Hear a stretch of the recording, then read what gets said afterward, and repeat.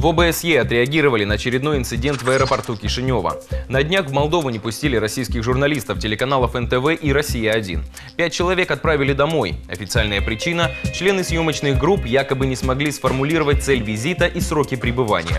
Представитель ОБСЕ по вопросам свободы СМИ Арлим Дезер выразил сожаление по этому поводу на своей странице в Твиттер. Я вновь призываю власти содействовать аккредитации иностранных журналистов и позволять им беспрепятственно выполнять свою профессиональную деятельность в регионе ОБСЕ, написал Дезер. Напомним, это далеко не первый случай, когда российских журналистов не пускают в Молдову. В 2018 году Кишинев развернул корреспондента НТВ Ираду Зейналову. Под молдавский запрет в свое время попали и корреспонденты РИА Новости, а также телеканалов РЕН-ТВ, Лайв и других СМИ.